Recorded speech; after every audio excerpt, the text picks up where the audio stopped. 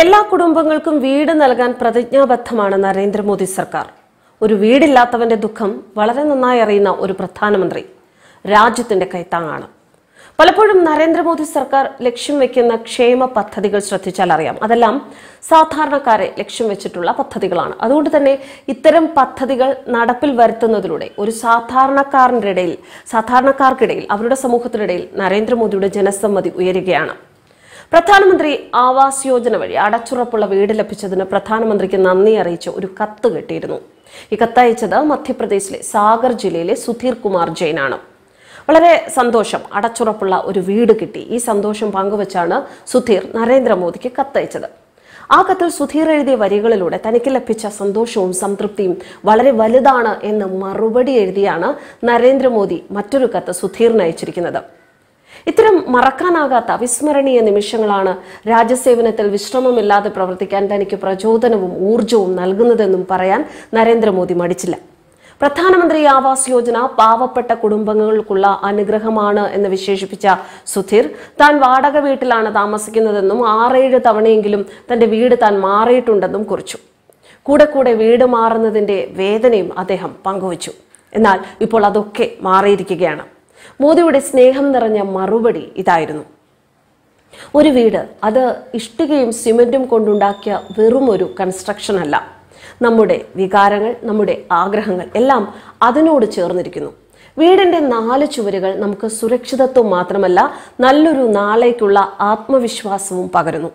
സ്വന്തമായി ഒരു വീട് ലഭിച്ചതിന്റെ സന്തോഷം വിലമതിക്കാനാവാത്തതാണ്.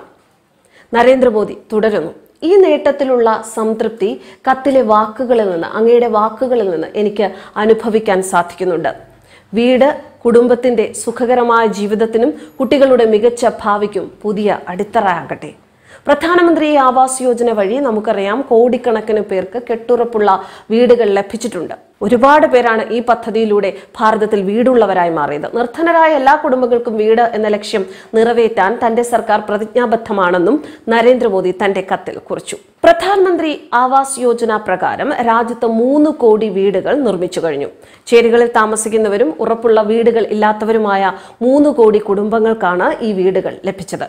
പദ്ധതി പ്രകാരം ഒന്ന് ദശാംശം ഒന്നേ മൂന്ന് കോടിയിലധികം വീടുകൾ നിർമ്മിച്ചത് നഗരങ്ങളിലാണ്.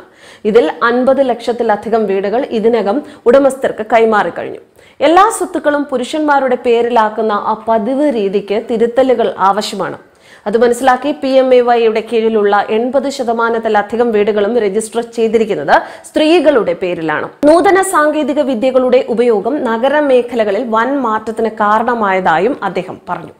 ഇന്ത്യയിലെ പ്രധാന നഗരങ്ങളിലേക്ക് അതിവേഗം മെട്രോ സർവീസുകൾ വ്യാപിപ്പിക്കുകയാണ്. രണ്ടായിരത്തി പതിനാലിൽ ഇരുന്നൂറ്റി അൻപത് കിലോമീറ്ററിൽ താഴെയായിരുന്നു. ഇന്ന് അത് എഴുന്നൂറ്റി അൻപത് കിലോമീറ്ററിൽ എത്തി.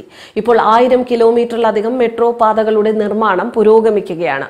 നഗരങ്ങളിൽ എൽ ഇ ഡി തെരുവ് വിളക്കുകൾ സ്ഥാപിച്ചതിലൂടെ ഓരോ വർഷവും ഏകദേശം ആയിരം കോടി രൂപ നഗരസഭകൾക്ക് ലാഭിക്കാൻ സാധിക്കുമെന്നും ഇപ്പോൾ ഈ തുക മറ്റു വികസന പ്രവർത്തനങ്ങൾക്കായി ഉപയോഗിക്കുകയാണ് എന്നുമാണ് നരേന്ദ്രമോദി പറഞ്ഞത്. News desk കർമാനസ്.